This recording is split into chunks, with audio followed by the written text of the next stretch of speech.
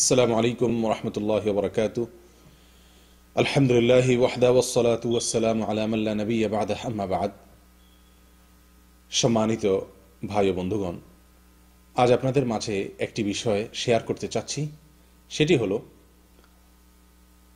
আমরা মানুষ জাতির মাঝে বহু লোক এমন আছি, যাদেরকে আল্লাহ সুহামতাল্লাহ সৃষ্টি করেছেন জাহান্নামের জন্য। আল্লাহ মুস্তান যাদের জন্মই হয়েছে জাহান্নামে নিক্ষেপিত হওয়ার জন্য। জাহান্নাম মুখী সেই মানুষগুলো কারা? আমি কি জান্নাতমুখী নাকি জাহান্নামমুখী? আমার পথ চলা কি জান্নাতের দিকে আমাদেরকে নিয়ে যাচ্ছে নাকি আমাকে জাহান্নামের দিকে নিয়ে যাচ্ছে? আমি কি জান্নাতি না জাহান্নামি?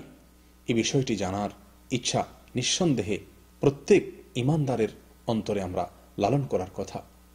কোরআন করিমে সুরায় আনামের একশত উনাশি নম্বর আয়াতে আল্লাহ সুহাতাল আমাদেরকে সেই মেসেজটুকু দিয়েছেন সে বার্তা দিয়েছেন আল্লাহ সুহাতাল সাদ করেছেন ولقد ذرأنا لجهنم كثيرا من الجن والإنس لهم قلوب لا يفقهون بها ولهم أعين لا يبصرون بها ولهم آذان لا يسمعون بها أولئك كالأنعام بل هم أضل وأولئك هم الغافلون আল্লাহ তালা বলেন নিশ্চয়ই আমি জাহান্নামের জন্য সৃষ্টি করেছি জিন এবং মানুষের কিছু লোককে জিন এবং মানুষের কিছু সদস্যকে আমি জাহান্নামের জন্য সৃষ্টি করেছি তাদের সৃষ্টি হয়েছে জাহান্নামের জন্য কি তাদের মার্কা কি তাদের আলামত কি তাদের চিহ্ন? কি তাদের আমল? প্রিয় বন্ধুগণ, আল্লাহ সুমাতাল্লাহ বলছেন যে, তাদের আলামত হলো, তাদের চেনার উপায় হলো, লাহুম কলুবুল্লাহ বিহা। তাদেরকে আল্লাহ সুহাতালা অন্তর দিয়েছেন। তারা সে অন্তর দিয়ে অনুধাবন করে না। তারা সে অন্তর দিয়ে আল্লাহ সুহাতালার ভয়, তারা সে অন্তরে লালন করে না, সে অন্তর দিয়ে শিক্ষা গ্রহণ করে না, সে অন্তর দিয়ে তারা বোঝার চেষ্টা করে না। আল্লাহ সুমাতালার অস্তিত্বকে খুঁজে পায় না, আল্লাহ সুমাতালার অস্তিত্বকে স্বীকার করে না, বোঝার চেষ্টা করে না। আল্লাহ সুমাতালার সমস্ত নির্দেশ নিষেধ, এসবগুলোর কার্যকারিতা, এসবগুলোর উপকারিতা, এসবগুলোর যথার্থতা সে অনুধাবন করে না। অন্তর আছে, কিন্তু উপলব্ধি নাই। আইনুল্লাহ বিহা। তাদের চোখ আছে, সে চোখ দিয়ে দেখছে, সচরাচর। কিন্তু সেই দেখা ওই দেখা নয়, যেই দেখার জন্য তার চোখের সৃষ্টি হয়েছে। তাদের চোখ আল্লাহর কালাম দেখে না। তাদের চোখ আল্লাহর কুদরত দেখে না। তাদের চোখ শিক্ষণীয় কোনো কিছু দেখে না। যেইখান থেকে শিক্ষা পেয়ে তার জীবনের মোড় পরিবর্তন হবে, তার গতি জান্নাতমুখী হবে, সে আল্লাহর সন্ধান পাবে, সে আল্লাহর অস্তিত্বের প্রতি বিশ্বাস তার জন্মাবে। সেই দৃষ্টি তার নাই, চোখ আছে, কিন্তু সেই চোখ দিয়ে তারা দেখে না। ওয়ালাহম আধানুল্লাহ ইসমাউন বিহা, তাদের কান আছে কিন্তু সে কান দিয়ে তারা শুনে না। আল্লাহর কথাকে, আল্লাহর নির্দেশকে, তার নবী সাল্লাহ সাল্লামের সুন্নাহকে, তার নবী সাল্লা সাল্লামের বাণীকে, তার নির্দেশনাবলী সমূহকে সে শুনে না। শুনতে পায় না, শোনার চেষ্টা করে না, শ্রবণ করে না। প্রিয় বন্ধুগণ, অন্তর আছে, কিন্তু উপলব্ধি শক্তিটুকু নাই। কান আছে, কিন্তু শুনে না, চোখ আছে, কিন্তু দেখে না। আমাদের সমাজে এমন বহু লোক আমরা আছি, আল্লাহ মাফ করুন, যারা প্রতিনিয়ত জাহান নামের কথা শুনছি, কিন্তু শুনেও আমরা যেন শুনতে পাচ্ছি না। আমাদের জীবনকে পরিবর্তন করে না, আমাদের অন্তরগুলো গলে না আমাদের চক্ষুগুলো প্রতিনিয়ত আল্লাহ সুমাতালার বহু কুদরত দেখে চলেছে। আল্লাহ সুমাতালার বহু কিছু, বহু সৃষ্টি, বহু নির্দেশ আমরা দেখছি, কিন্তু দেখেও যেন আমরা না দেখার ভান করে আছি। আমাদের জীবনকে পরিবর্তন করে না, সেসব দেখায়, সেসব শোনা আমাদের মাঝে পরিবর্তন আনে না।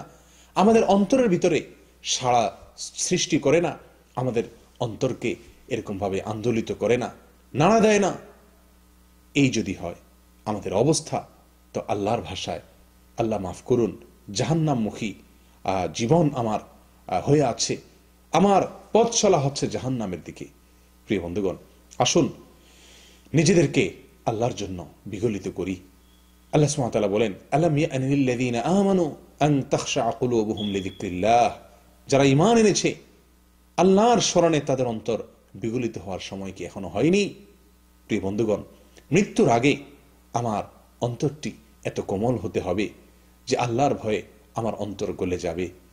যে আল্লাহর কথা শুনব তো আমার পরিবর্তন হয়ে যাবে, আমার ভেতর পরিবর্তন এসে যাবে। আল্লাহর নির্দেশকে দেখব, আল্লাহর কুদরতকে দেখতে পাব।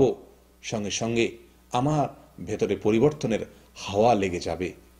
এই যদি অবস্থা না হয়, তাহলে আমার অবস্থা অত্যন্ত করুণ। আমার জন্য দুঃসংবাদ যে আমার জীবন যাত্রা চলছে জাহান্নামের অভিমুখে। প্রিয় বন্ধু, আমাদের এই সমাজে আমরা অনেকেই প্রতিনিয়ত আল্লাহর সতর্কবাণী আমাদের কানে আসে। আমাদের চোখ দিয়ে আমরা পড়ি, পাঠ করি, কিন্তু সেগুলো আমাদের জীবনকে পরিবর্তন করে না।